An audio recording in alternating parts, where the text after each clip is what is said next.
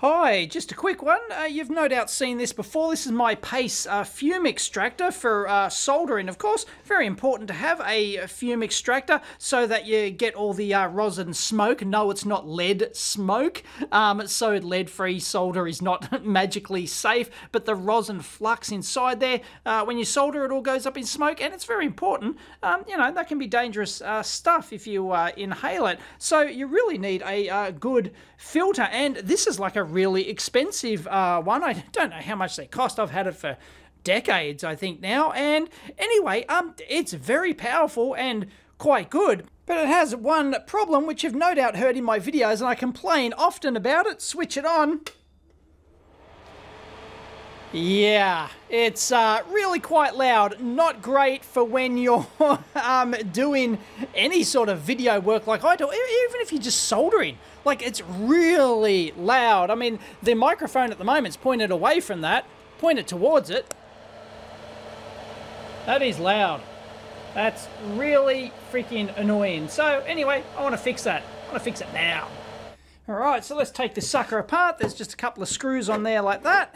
And we are in like Flynn, and that's all there is uh, to it, of course. It's just a uh, 240 volt fan. Nothing, still spinning. Nothing fancy at all. Taylor fans. Um, I don't, uh, never heard of Taylor fans. I got no idea. Looks like a pommy uh, thing. You search that part number, you get uh, Sunon fans. So I don't know what the deal is there. Did Sunon buy uh, Taylor or did Taylor make a, a like a rip-off of the uh, Sunon fans? I don't know. Anyway, um, it is an awfully loud fan. Uh, standard 120 millimeter diameter, um, die-cast alloy uh, case. It's one of the deep ones. So I don't know what the uh, noise specs on this thing is. If I can find a data sheet, I'll include it. But uh, yeah, all I know is that it's loud. So it's like, I'm not going to get my sound level meter out and all that sort of rubbish. But yeah, it's like Anyway, standard 120 millimeters, so I'm going to whip that out and uh, see what else we can put in there. I could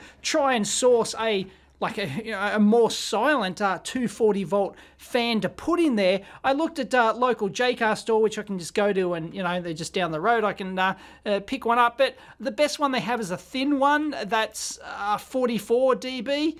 Sounds okay, but pun intended. But yeah, I don't know. I've got something better. And in, in here is just a uh, standard uh, carbon impregnated uh, filter, and you can get they're really quite horrid stuff. You sort of touch them and they just they just disintegrate. Maybe this one's too old. Hmm. There you go. It's got a date code 95.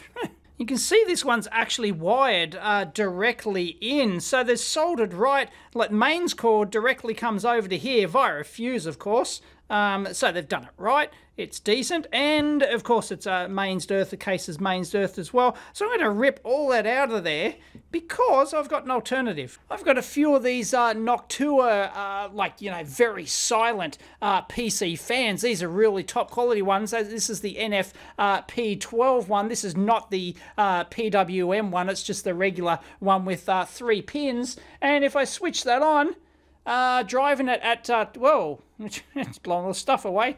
Um, if I drive that at 12 volts, you can't hear it.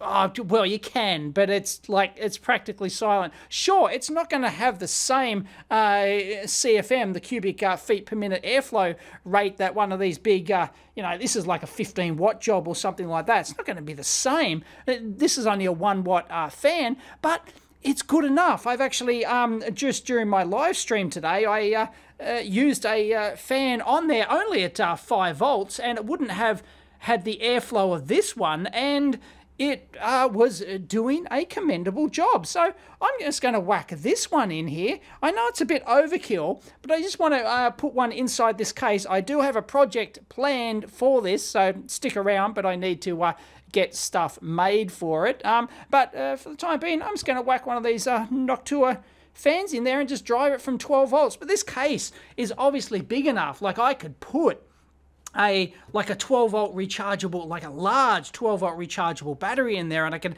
you know I could really go to town like that but uh, at the moment I just want to just get it up and running All right, so that'll fit nicely in there. You've got to get it the right way around. Of course, the uh, air blows out this way, so sucks it in from this side. Trap for young players.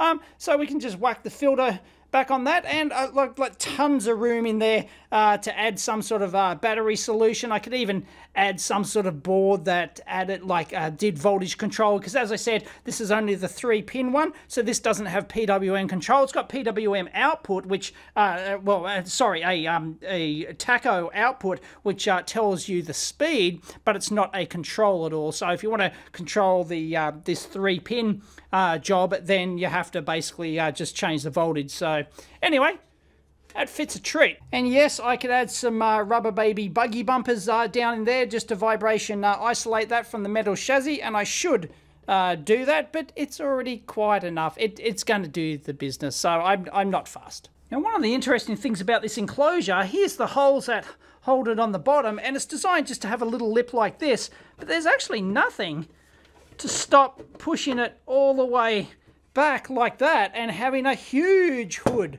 on that if you really wanted to, because uh, a, a, a bigger hood can potentially be better because it like the smoke can like get up there and get trapped under the hood, but then you got to get it closer. Eh, it's a trade-off. Um, I think I'll just looks a bit silly too.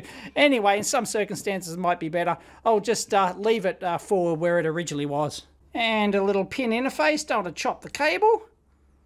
And we're good. Yeah, I'll put, I should have put some heat shrink on the individual ones. I'll put it all the way over and she'll be right. All right, that's much quieter than the other one.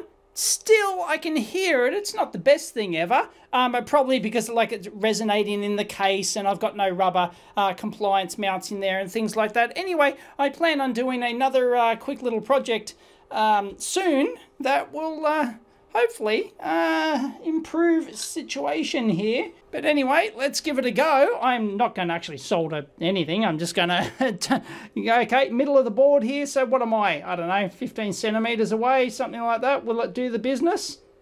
Ah, uh, it's okay.